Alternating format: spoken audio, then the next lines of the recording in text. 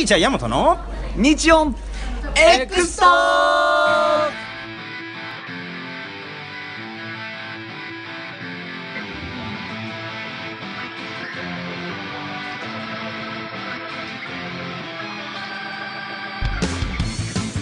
い始まりました。ティーチャーヤマトの日曜エクストークでございます、えー、岡部さんこんにちは。こんにちは。皆さんこんにちは。こんにちは。はい。本当にね、えー、もうそろそろバレンタインが近づいてきますね。ああもうそんな時期。うーん。いやー去年はもう4万個。もうええわ。吹いてもだいやいやいや服だよ、まあいいや。そんなことでね。はい。やってるんですけど今日はね実はね、はい。急になんですけどん。ちょっと特別会でございましてほう。なんとゲストが来る。来る、あというかているようでございます。はいご紹介いたしましょう。えー、あつしさんです。どうもこんにちは。こんにちは。あこんにちこんにちは。はどうもどうも。よろしくおえ願いします。よろしくお願いします。ーよろしくお願いします。えっ、とあつしさんは今はいはい。あのーまあねもうこれまあ僕からまあ先言ってしまうと実はちょっと知り合いでしてね。ほあのーちょっとあの これはね そうそう。話すとねちょっといろいろどういうことやねんいう話なんやけど、俺なぜか知らないけどまあまあ簡単に言うと役者の方ですよ。うあ役者さんなんですね。はい。でまあ、はい。なあ何がし淳っていう感じで、まあ、やってらっしゃるんですけど、でまあ淳さんはねあのー俺この間つい先月ねあの、某 CM 撮影でお。一緒にそうそうそうですね。ね、そう一緒になったんですよね。ほんで、はい。ははでお互い初めましてっていうことで、ああすごい気が合うわ、関西関西弁やわいう感じで喋ってたら、実は3年前に LINE 友達がなってて、あれ？そう、いや、そうなんですよ、そうなんです。そう。あれは俺もびっくりしたけど、そちらもびっくりされましたよね。しかも二人とも初めましてって言ってるんで、覚えてないんやそうそうそうそうそうそう。だからね、これほんまそういうことってあんねんなと。でまあまあ、ねこれはまあねお互い相思相愛で。そうそう。で、ほんま未だに何の現場で出会ったか覚えてない。そうそうそうそうそう そうそうほんまにそうやって3年前の現場も微妙に覚えてなくて俺日にちその LINE の最初の日にちからしてああれやわって大体予測してんねんけど 今まあこういうこういう変な関係もあんねんなという。ねえ、本当に。うーんね。だからまあちょっとでね実はねそれであのーついまあその撮影の後にね、はい。まああのーまあグループがそのできましてそのアホアホグループ。いやいやいやいやすみません。まあまあ、まあね。まあまあねって。さあすみません。嘘です。あの淳さんはあのあの気はい。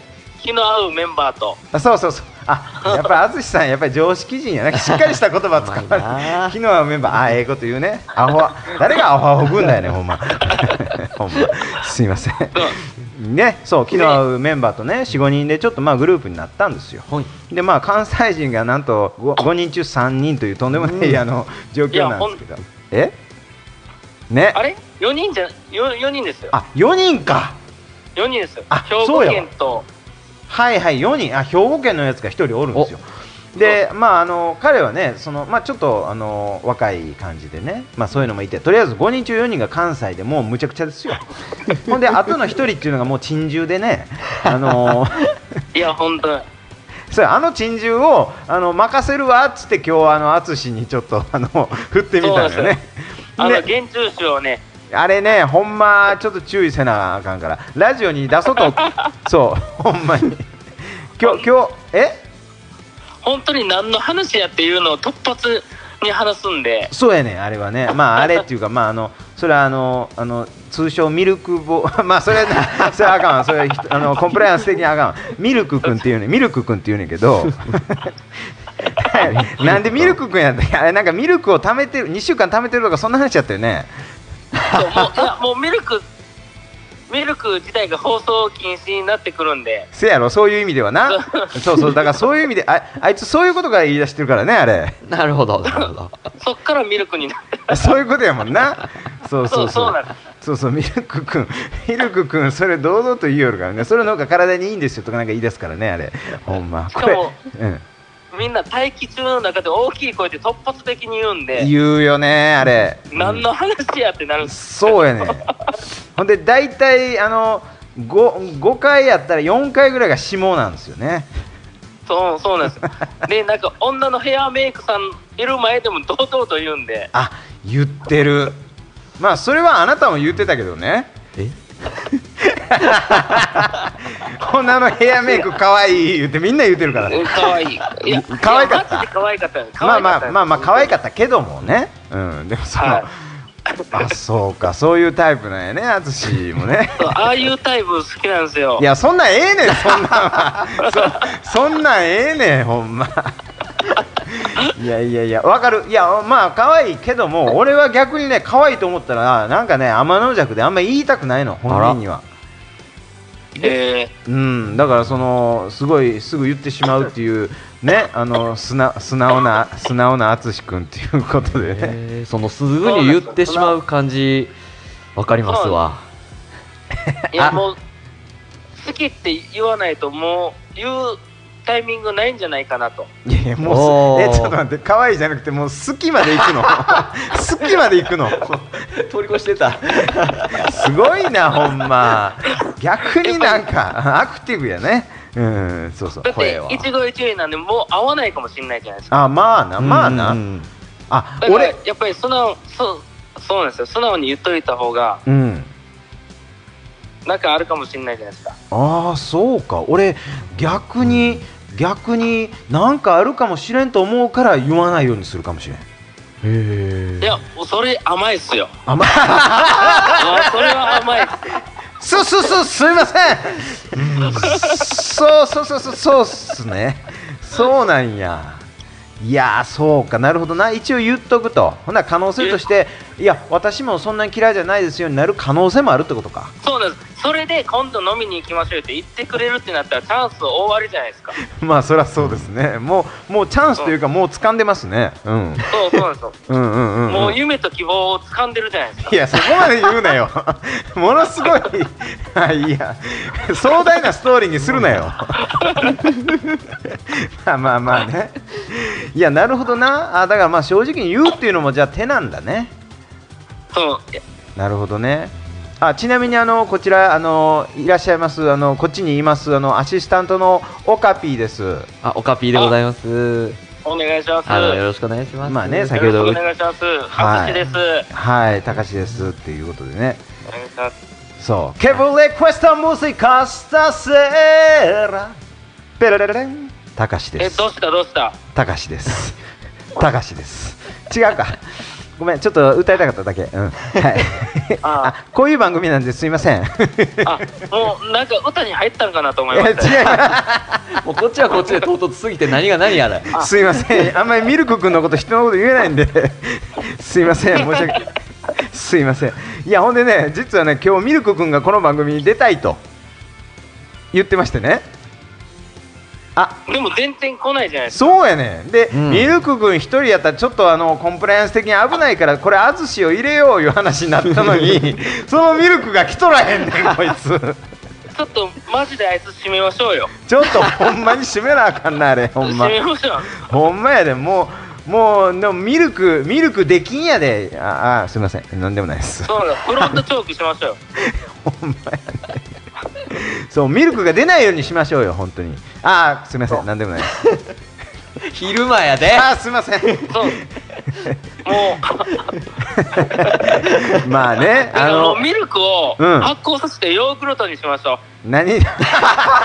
発酵させてヨーグルト。あいつ言っててもうヨーグルト状態になってるとか言ってもう気持ち悪いよほんまあいつほんま。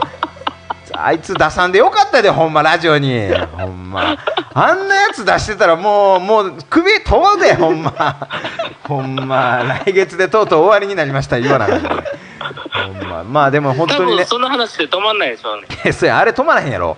で俺悪いけど15分番組やからうんあの、はいはい。そそれ1時間番組やったらねそのあのミルク君コーナーがさその10分あってもええけどさうん、ちょちょっとねね。うん、まあ暴走機関車なんでねちょっとあなた 淳にいてもらおうと思ったらまさかのミルクがいないというオチでしたけどね。ね、本当に。本当に。まあまあでもねあのーまあそろそろあの今日はね一応時間は時間なんですけどまたあのあのー近々またねあのーいろんな企画そうですよ。ミルあのーミルクも含めたその5人でね、あの淳も入れてちょっと2月のねちょうど今日ですよ2月9日あ、そうですよ。はい今日ちょっとねある企画をスタートさせようかというふうに思ってますんで何ですか？はい、それはね、まあ、あのおいおい、まあ、わかると思います。今のところはうん、シークレットということでね。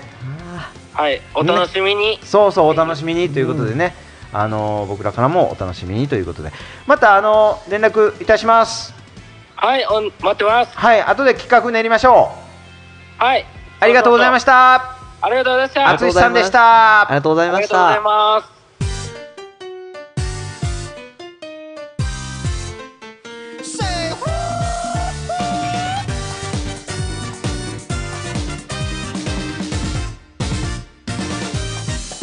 「ゲまったり花火の夜」「体を寄の風二人は砂浜のラバフェ。江ノ島に明かりが灯れば黄昏を気取って海猫たちの切ない声が教えてるデスティニー。探してた夏のフェリー。悩ましき胸の膨らみ。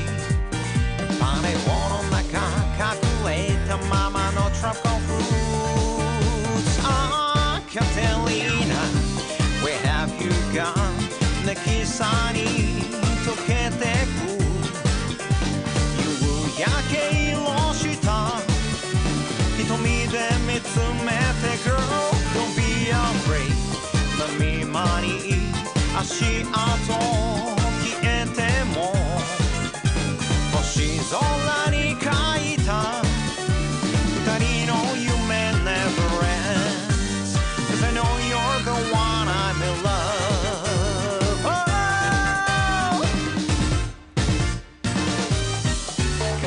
はい、聞いていただいておりますのは、えー私のサードアルバム「シーズンから「愛しのカテリーナ」でございました、はい夏の歌ですね。なんか知らんけどちょっといやらしい話をなんか するやつらの話だったんでね。まああのー、あ淳さんありがとうございました。ねなかなか面白い感じでしょ。うん、でこれがそのこういうこれが関西人のパワーやお前ら見たかっていう。すいません。ね調子乗りました。すいません。ぜえひね、ミルク、ミルクくんもね、来てほしかったな。ーね本当ミルク君もね登場してほしかったんですけど先ほどあのミルク君から、あの今日ねあのこれ電話出演するっていう話もしてたんでね、はい。どうなったんかなと思ってちらっと見ると、あのなんか LINE のバージョンが古いんでできませんでした。めっちゃやりたかったんやなっていうやりたかったみたいですよ。のでまた次はぜひということでねミルク君も、まあ、その他もということで、まあ、あの他のねあの全く別の方とかねあとミュージシャンの方とかもねあのこの番組たまたま聞いたっていう人とかね僕のことをたまたま知ってて見てみたっていう人もねぜひあのたまに出られる枠がありますんで、えー月に1回ぐらいやってますんでね、えー連絡ください。すべての宛先はこちらでございます。はい。はい。えー、Twitter、インスタ、Gmail、すべてアルファベットで、YAMATOXTALK、ヤマト X トークの11文字。でございますということで私の方は、えー、ヤマト X スターでございますよこの番組はティーチャーヤマトの日曜 X トーク See you!